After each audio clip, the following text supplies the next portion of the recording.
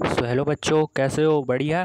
ठीक है तो आज हम लोग क्या डिस्कस करने वाले हैं? आज हम लोग डिस्कस करने वाले हैं best book recommended for the session of twenty two twenty three ठीक है तो जो बच्चे बोर्ड की तैयारी कर रहे हैं, जो बच्चे बोर्ड की तैयारी कर रहे हैं उनके मन में ये एक बहुत बड़ा प्रश्न होता है कि कौन सी बुक को सॉल्व करें और कौन सी बुक को नहीं। ठीक है? जो बच्चे टेंथ में जाते हैं, वो एक, उन्हें पता होता है कि इस बार उन्हें बोर्ड की परीक्षा देना है, बोर्ड की एग्ज़ाम देना है तो उनके लिए ये बहुत बड़ा टास्क हो जाता है कि आप अच्छे से अच्छे मार्क्स को गेन करें, अच्छे से अच्छे मार्क्स को गेन करें। ठीक है तो आप अब अच्छे से अच्छे मार्क्स को तभी गेन कर पाएँगे जब आपको कोई अच्छा गाइड करने वाला होगा, आपको अच्छी बुक पता कर, बताने वाला होगा। ठीक है तो आज हम लोग वही डिस्कस करने वाले हैं best book best book of class tenth for all subject. ठीक है, ऑल सब्जेक्ट तो इसमें क्या क्या होगा? हिंदी, इंग्लिश, मैथ एसएसटी ठीक है, इसमें सब आपको बताया जाएगा।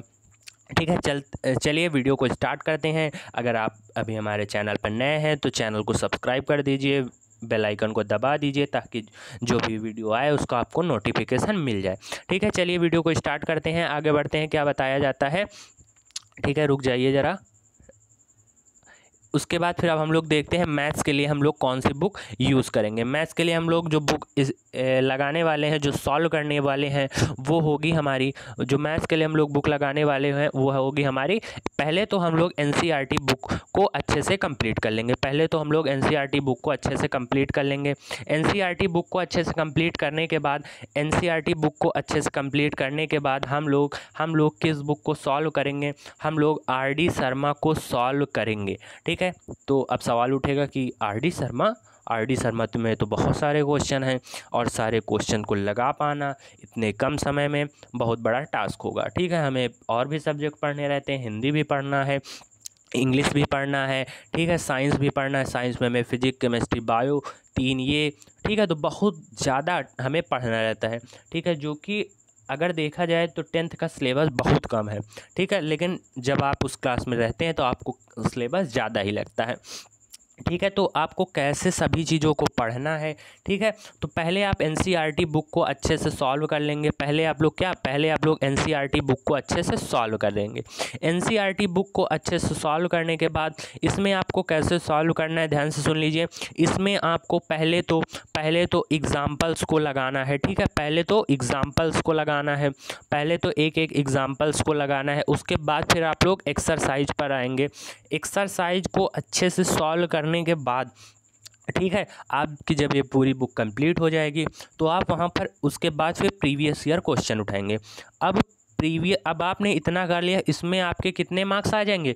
इसमें आपके मान के चलिए कि 95 मार्क्स 95 मार्क्स तो आपके बहुत आसानी से आ जाएँगे। कितने आ जाएँगे? 95 मार्क्स तो आपके इसमें बहुत आसानी से आ जाएँगे। ठीक है? लेकिन हम लोग की क्या इच्छा रहती है? हम लोग की इच्छा रहती है कि हमेशा सबसे ज़्यादा मार्क्स आए। हम लोग तो हमेशा हंड्रेड का ही सोचते हैं। ठीक है हंड्रेड मार्क्स हम लोग को चाहिए। ठीक है तो हंड्रेड मार्क्स के लिए हम लोग क्या करेंगे? हंड्रेड मार्क्स के लिए हम लोग एन e के बाद एन e के बाद हम लोग प्रीवियस ईयर जब उठाएँगे तो उसमें हमें कुछ ऐसे क्वेश्चन मिलेंगे, कुछ ऐसे क्वेश्चन मिलेंगे जो कि रिपीटेड होंगे, जो कि हर साल आ रहे होंगे। तो हम उन्हें क्या करेंगे? या वो क्वेश्चन आ रहे होंगे या उसी टाइप के आ रहे होंगे तो हम उन्हें आर डी शर्मा से लगाने की कोशिश करेंगे। ठीक है? अगर नहीं एक्सरसाइज आ रही है तो कोई नहीं एग्ज़ाम्पल्स को लगाएँगे एग्ज़ाम्पल्स को अच्छे से समझ लेंगे। और जो बच्चे आईआईटी की तैयारी करना चाहते हैं, ठीक है? ट्वेल्थ के बाद आईआईटी करना चाहते हैं जेई करना चाहते हैं ना? या फिर और कोई ब्रांच में जाना चाहते हैं, ठीक है? तो वो आर डी शर्मा को लगा सकते हैं, जो बच्चे फाउंडेशन की तैयारी कर रहे हैं। वो मैथ्स के लिए आर डी शर्मा को लगा सकते हैं। ये बहुत अच्छी बुक है। इसमें जो नंबर ऑफ़ प्रॉब्लम्स हैं, वो काफ़ी ज़्यादा हैं। वैरायटी ऑफ़ प्रॉब्लम्स हैं। Level one, level two, level three के प्रॉब्लम्स हैं। जब आप लेवल टू और लेवल थ्री के क्वेश्चंस को लगा लेंगे, उन्हें समझ लेंगे तो आपका भी क्या होगा? कॉन्फिडेंस काफ़ी ज़्यादा हाई हो जाएगा। और तब फिर जब आपको एन के छोटे मोटे क्वेश्चन मिलेंगे तो आप चुटकियों में इन्हें उड़ा देंगे। ठीक है, चुटकियों में इन्हें क्या करना है? इन्हें तो उड़ा देना है चुटकियों में। आप एक बार आर डी शर्मा को उठाइए तो ज़रूर, लेकिन आपको क्या लगेगा? आपको लगेगा बुक ही देख के आप डर जाएँगे, इतनी मोटी बुक इसे कैसे लगाएँ? ये तो चार साल में ना हो और इसे लगाना है एक साल में, ठीक है? लेकिन लगाइए। अच्छी बात है आप अगर नहीं लगा पा रहे हैं एक्सरसाइज नहीं लगा पा रहे हैं तो पहले एग्ज़ाम्पल्स को सॉल्व कर लीजिए। वही एग्ज़ाम्पल्स आप ध्यान से कभी पढ़िए तो चीज़ों को। वही एग्ज़ाम्पल्स के सेम टाइप सिर्फ़ डिजिट चेंज करके, सिर्फ़ डिजिट चेंज करके आपको सीधा कहाँ मिल जाएँगे? एक्सरसाइज में मिल जाएँगे। ठीक है? तो इसलिए क्या बताया गया है? इसलिए आप मैथ्स के लिए आर डी शर्मा को लगाएँगे। कुछ चैप्टर हैं जैसे ट्रिक्नोमेट्री ट्रिक्नोमेट्री आपकी स्ट्रांग होनी चाहिए क्योंकि इलेवेंथ में भी आपको मिलेगा, ट्वेल्थ में भी है ना? तो ट्रिक्नोमेट्री हर क्लास में है, इसलिए आप छोटे से ही, आप टेंथ से ही अपना बेस बना लीजिए ट्रिक्नोमेट्री को, एकदम स्ट्रांग कर लीजिए। फिजिक्स में भी आपको ट्रिक्नोमेट्री मिलने वाली है ना? ठीक है लंबे लंबे प्रॉब्लम्स मिलेंगे, ठीक है, उसमें ट्रिक्नोमेट्रिक आइडेंटिटीज़ लगेंगी, जो दस बारह पंद्रह फार्मूले हैं, उन्हें अच्छे से याद कर लीजिए, उन्हें डिराइव करना आना चाहिए, ना तो हर चीज़ पता होनी चाहिए ट्रिक्नोमेट्रिक रेशियो निकालना आना चाहिए, आपको हर एक चीज़ पता होनी चाहिए, ठीक है तो मैथ्स के लिए आप आर डी शर्मा को यूज़ कर सकते हैं, या आर एस अग्रवाल को लगा सकते हैं, लेकिन आपको अगर आपसे संभव नहीं है कि पूरी एक्सरसाइज को आप लगा पाएँ, ठीक है, पूरी एक्सरसाइज को लगा पाएँ तो कम से कम एग्ज़ाम्पल्स और अगर एग्ज़ाम्पल्स भी नहीं संभव है तो। ये सबसे लास्ट ऑप्शन है, अगर एग्ज़ाम्पल्स भी नहीं संभव है आपसे लगा पाना तो आप क्या करेंगे? जो प्रीवियस ईयर में जो क्वेश्चन रिपीटेड हैं, आप उन्हें आर डी शर्मा से बिल्कुल अच्छे से लगा लेंगे। ठीक है, उन्हें आप क्या कर लेंगे? बिल्कुल अच्छे से आर डी शर्मा से लगा लेंगे। उसके बाद फिर हम लोग देखते हैं कि अब हम लोग केमिस्ट्री के लिए केमिस्ट्री के लिए बच्चों में एक बहुत बड़ा सवाल रहता है कि केमिस्ट्री के लिए कौन सी बुक फॉलो करें? क्योंकि केमिस्ट्री हमें पढ़ना ही नहीं पसंद है। ठीक है, केमिस्ट्री में रिएक्शन उन्हें कैसे याद किया जाए, उन्हें कैसे समझा जाए, ठीक है थ्योरी को कैसे पढ़ा जाए एनसीईआरटी बुक को कैसे पढ़ा जाए, एक बहुत बड़ा टास्क होता है। ठीक है, सबके लिए, आपके लिए भी था, हमारे लिए भी था। ठीक है तो सबके लिए एक बहुत बड़ा टास्क होता है। ठीक है तो इसे कैसे कंप्लीट करें? तो जो बुक हम लोग फॉलो करने वाले हैं, वो न्यू मिलेनियम होगी। ध्यान से सुन लीजिए। बुक का नाम है न्यू मिलीनियम। ठीक है, सौरभ मोंगा, राइटर, ध्यान से सुन लीजिए, सौरभ मोंगा इसके राइटर हैं। ठीक है, अब बात ये होगी कि मार्केट में पचासों तरह की किताब है, हम इसी बुक को क्यों लगाएँ? इसमें ऐसी क्या बात है कि हम इसी बुक को लगाएँ? ठीक है तो देखिए, ध्यान से देखिए, यहाँ पर एक छोटा सा पॉइंट लिखा गया है टाइम सेवर। क्या लिखा गया है? टाइम सेवर अब टाइम सेवर का मतलब क्या है? ये हमारे टाइम को कैसे बचाएगी? वही तो हम चाहते हैं कि हमारा टाइम बच जाए। अब हम टाइम कैसे बचेगा? तो ध्यान से सुनिए, आपने जब एन बुक को एन बुक को अच्छे से पढ़ लिया थ्योरी को अच्छे से पढ़ लिया टॉपिक्स को अच्छे से कवर कर लिया और साथ में नोट्स बना लिया टाइम टाइम पर नोट्स को रिवाइज करते जा रहे हैं ना? ज़्यादा चैप्टर नहीं है, चार पाँच चैप्टर हैं। अगर आप सोचिए आप सोचिए हर हफ़्ते एक चैप्टर को रिवाइज कर लेते हैं पूरा तो आपको कितने अच्छे से आपका सिलेबस कंप्लीट होने वाला है, ज़रा एक बार सोच के तो देखिए, आपको पूरी बुक जबान पर रट जाएगी। उसके बाद फिर आप न्यू मिलीनियम साइंस को उठाएँ और इसमें टाइम सेवर इसलिए यहाँ लिखा गया है, ध्यान से सुनिए, यहाँ पर टाइम सेवर लिखा गया है, क्योंकि इसमें जो बातें बताई गई हैं वो आपको इस तरह इस तरह पॉइंट्स में बताया गया है, ठीक है? इस तरह आपको वहाँ पर पॉइंट्स मिलेंगे। इस तरह से पॉइंट्स मिलने से, इस तरह से पॉइंट मिलने से आपको पॉइंट टू पॉइंट बातें पता चल जाएँगी। पॉइंट टू पॉइंट बातें पता चल जाएँगी, जिससे आपका ज़्यादा से ज़्यादा समय बच जाएगा। पैराग्राफ को, जो पढ़ने में आपको जो समय लगता है, वो बच जाएगा। ठीक है, और आप उसे और कहीं यूटिलाइज कर पाएँगे। इसके बाद फिर इसमें जो क्वेश्चन हैं, वो भी बहुत अच्छे हैं। एन बुक्स के अच्छे अच्छे क्वेश्चन हैं। ठीक है, और इसमें क्या आपको मेन जो बात है मेन यही मेन बात यही है कि आपको जो पैराग्राफ पढ़ना पड़ता है, उससे आप बच जाएँगे। उससे आप बच जाएँगे और आपको वहाँ पर पैराग्राफ नहीं पढ़ना पड़ेगा। और इस बुक का जो कंटेंट है, जो कंटेंट है, वो बहुत ही ज़्यादा अच्छा है। बुक का कंटेंट क्या है? बहुत ज़्यादा अच्छा है। ठीक है? लेकिन मैं आपको पहले एन बुक को पढ़ना है रिकमेंड करूँगा। उसके बाद फिर आप इसमें जाइए।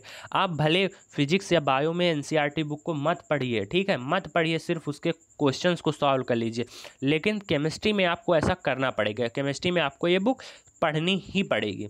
उसके बाद फिर फिजिक्स के लिए हम लोग क्या करेंगे? फिजिक्स के लिए हम एस चाँद, ध्यान से सुन लीजिए। लखमीर सिंह एंड मंजीत कौर ने एक बुक लिखी है। लखमीर सिंह एंड मंजीत कौर ने एक बुक लिखी है। कौन सी? S Chand. S Chand publication की। लखमीर सिंह एंड मंजीत कौर ने एक बुक लिखी है। ठीक है? इसे हम लोग पढ़ेंगे। ठीक है? उसके बाद फिर इसे कैसे पढ़ना है, ध्यान से सुन लीजिए। इसे पढ़ने का जो प्रोसीजर होगा, आप बुक को उठाएँगे और पैराग्राफ बाई पैराग्राफ उसे पढ़ते चले जाएँगे। जो फार्मूला मिलेगा, उसे हाईलाइट कर लेंगे या कहीं शॉर्ट नोट्स में लिख लेंगे। उसके बाद फिर आपको प्रॉब्लम्स मिलेंगी। प्रॉब्लम्स कहाँ की होंगी? प्रॉब्लम्स उसी बुक की आपको प्रॉब्लम्स मिल जाएँगी, जो कि आपने पिछले पैराग्राफ में पढ़ा है, उन्हें अच्छे से सॉल्व कर लीजिए। वहीं पर पेंसिल पर जो न्यूमेरिकल है, उन्हें रफ कॉपी में लगा लीजिए। उसके बाद फिर फिजिक्स में आपको ज़्यादा मेहनत करने की ज़रूरत नहीं है, क्योंकि फिजिक्स का फिजिक्स का जो पोर्शन होता है, वो सबसे ज़्यादा इजी होता है। ठीक है, सबसे ज़्यादा इजी होता है, उसके बाद फिर आप साइंस एन को उठाएँगे और जितने क्वेश्चन हैं, जितने दस, बारह, पंद्रह, बीस, पच्चीस, तीस, जितने भी क्वेश्चन हैं, आप उन्हें एक एक करके सॉल्व कर लेंगे। ठीक है? तो यहाँ पर आपको जो ज़्यादा मेहनत करनी है, जो ज़्यादा मेहनत करनी है, वो किसमें होगा? वो केमिस्ट्री और बायो में करनी है। केमिस्ट्री और बायो में अगर आपने अच्छे से मेहनत कर लिया केमिस्ट्री और बायो में अगर आपने अच्छे से मेहनत कर लिया तो आपके नाइन्टी फाइव मार्क्स साइंस में कहीं के नहीं गए हैं। और यही परसेंट यही मार्क्स आपके परसेंट को डिसाइड कर देंगे। क्योंकि सारे बच्चे सारे बच्चे मान के चलिए मैथ और साइंस में ही फंस जाते हैं। ठीक है, हिंदी सबको आती है, इंग्लिश सबको आती है एसएसटी हर कोई लर्न कर सकता है, लेकिन मैथ और साइंस को कोई कितना याद करेगा? आपने बायो याद याद कर लिया, ठीक है, लेकिन आप फिजिक्स और केमिस्ट्री को नहीं याद कर सकते मैथ को नहीं याद कर सकते, ठीक है तो ये एक स्कोरिंग सब्जेक्ट होते हैं और परसेंटेज को डिसाइड करने वाले होते हैं। ठीक है तो आपकी अच्छी कमांड होनी चाहिए। बुक कौन सी रिकमेंड कर रहे हैं? बुक हमने आपको मंजीत सिंह और लखमीर कौर। लखमीर सिंह मंजीत कौर बुक रिकमेंड की है, जिसे आप लोग चाँद कहते हैं। ठीक है, उसके बाद फिर बायो के लिए बायो के लिए कौन सी बुक अच्छी रहेगी? बायो के लिए जो बुक अच्छी है, उसका नाम है, उसका नाम है क्या? बायोलॉजी के लिए एस चाँद बायोलॉजी के लिए एस चाँद जो बुक है, वो सबसे ज़्यादा अच्छी है। ठीक है बायोलॉजी के लिए आप ध्यान सुन लीजिए केमिस्ट्री के लिए एस चाँद नहीं लेंगे। केमिस्ट्री में जो एस चाँद है, उसमें आपको पैराग्राफ में इतना ज़्यादा कंटेंट दे दिया गया है कि आप वहाँ कन्फ्यूज़ हो जाएँगे। ठीक है? तो यहाँ पर आपको कौन सी बुक रिकमेंड की गई है? यहाँ पर जो बुक आपको रिकमेंड करी गई है, वो है एस चाँद की बायोलॉजी एस चाँद की बायोलॉजी आप अच्छे से पढ़ लेंगे क्वेश्चंस को सॉल्व कर लेंगे। ठीक है? अब बात आ जाती है कि हमने एस चाँद की एस चाँद के लिए, एस चाँद की हमने ना ही केमिस्ट्री ली, ना ही केमिस्ट्री ली, और अब हम एस चाँद की बायो क्यों लें।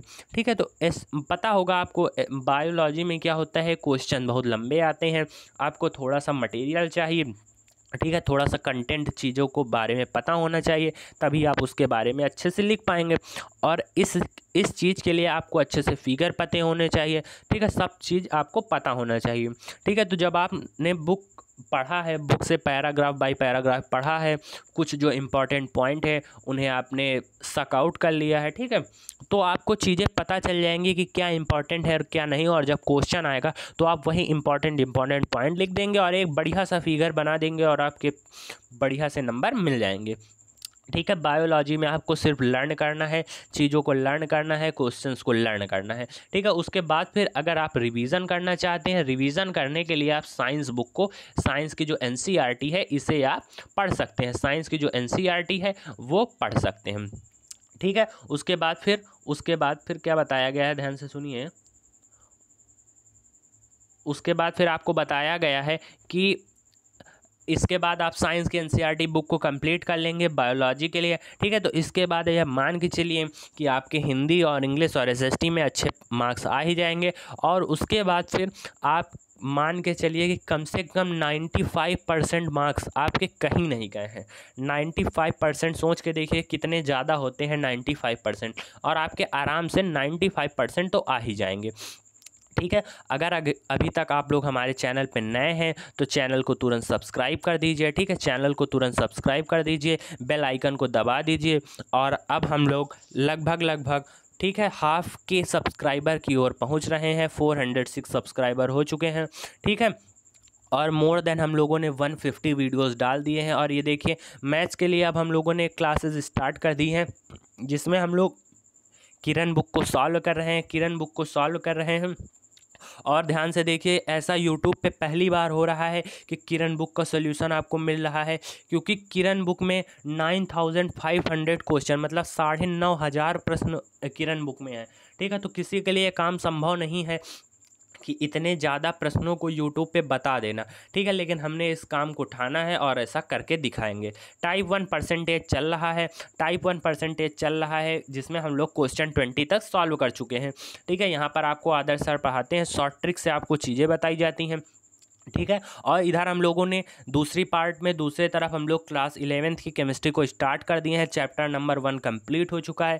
और मान के चलिए कि कल से या परसों से एक या दो दिन में थोड़ा नेटवर्क इशू आ रहा है, इसलिए वीडियो आपको नहीं मिल पा रही है। एक या दो दिन के बाद हम लोग फिर से अपनी क्लास को स्टार्ट कर देंगे और chapter number two chapter number two को डिस्कस करेंगे। ठीक है? तब तक पढ़ते रहें। All the very best